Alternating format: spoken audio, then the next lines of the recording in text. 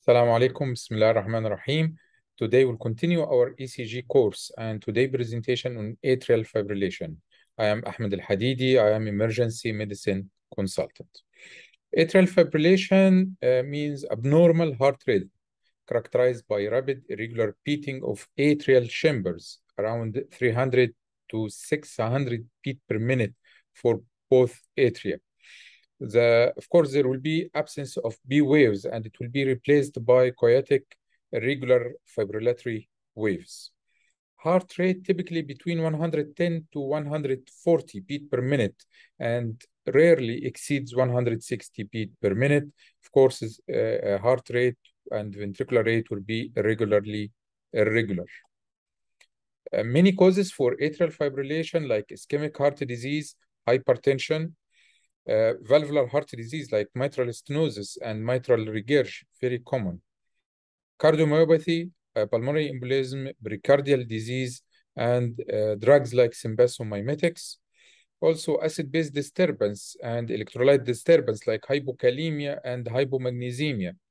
Acute infections, uh, thyrotoxicosis and pheochromocytoma, and excess alcohol there is many risk factors for uh, atrial fibrillation like age. 10% of people over 80 years have af obesity smoking is a risk factor obstructive sleep apnea and copd this is atrial fibrillation uh, as we can see it's irregularly qrs irregular ventricular rate and it's rapid and there is no p waves totally no P waves. And if you need to calculate the rhythm, will uh, from this point to this point, it's uh, 30 large squares, and we will count the QRS complexes between 30 large squares, 17 QRSs multiplied by 10 equals 170 beat per minute. For ECG features for atrial fibrillation will be a regularly irregular rhythm, so the distance between R waves is not constant and no P waves at all. P waves is replaced uh, by F waves, fibrillatory waves, absence of isoelectric baseline, uh, as you can see, and variable ventricular rate irregular. Also, uh, fibrillatory waves can be present and can be either fine, fine fibrillatory waves, which where the amplitude is less than 0.5 millimeter as amplitude, or coarse fibrillatory waves with amplitude more than 0.5 millimeters. Also, fibrillatory waves may mimic P waves and leading to misdiagnosis. Also, uh, uh, usually QRS complexes are narrow, less than 120 milliseconds, unless there is pre-exciting uh, bundle, pre-excitation, or bundle branch block, accessory pathway, or aberrant conduction.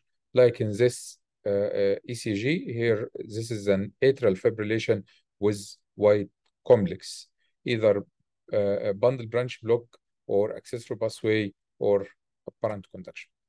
The mechanism, uh, there is theories for mechanism of atrial fibrillation. Two theories are, are the main theories. Focal activation, where there is area of focal activity, often located uh, around the pulmonary veins, is triggered by increased automaticity. So this area will fire multiple uh, waves. Other uh, theory is multiple wavelets uh, theory, where multiple small wandering wavelets uh, uh, maintained by re-entry circuits and potentiated in presence of dilated left atrium. There is something uh, slow AF. Slow AF is AF with heart rate less than 60 beat per minute and there is many causes for uh, slow AF like hypothermia, digoxin toxicity, medications controlling uh, rate or like beta blocker or calcium channel blockers, and sinus node dysfunction. For the management of atrial fibrillation, uh, the cornerstone for AF management is rate control, anticoagulation, and rhythm control. The decision for using rhythm control or rate control strategy depends on degree of symptoms and likelihood uh, of maintaining sinus rhythm after cardioversion and presence of comorbidities and candidacy for AF ablation. Even some people will live uh, uh, lifelong with persistent atrial fibrillation. Rhythm control strategies uh, like electrical cardioversion using the defibrillator with and giving synchronized electrical cardioversion. And this is the first line management in symptomatic young patients. Chemical uh, cardioversion uh, with medication like flecainide, uh, propafenone, amiodarone, and uh, sotalol, beta blocker. Uh, also, catheter ablation or surgical or hybrid ablation for if there is focal uh, activation or micro circuits, it can be cauterized with catheter ablation. Rate control strategies like medication, like calcium channel blockers, beta blockers, and digoxin and amiodarone.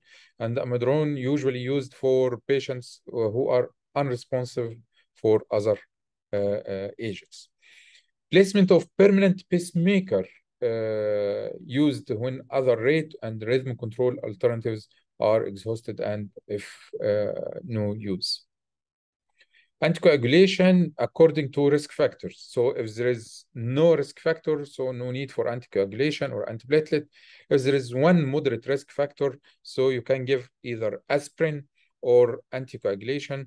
If there is any one high risk factor or more than two moderate risk factors, you have to give anticoagulants. So risk factors, either high risk factors like prior stroke or transient ischemic attack, systemic thromboembolism, and age 75 or more, uh, presence of only one of these risk factors mandates anticoagulant. Moderate risk factors like patient aged from 65 to uh, 74, female sex, hypertension or diabetes or heart failure, or arterial disease like myocardial infarction, peripheral arterial disease, or aortic plaque. Uh, presence of one moderate risk factor means antiplatelet or anticoagulant. Presence of more than one mandates anticoagulation. Thank you so much. And don't forget to uh, like, comment, and subscribe to our channel. Thank you.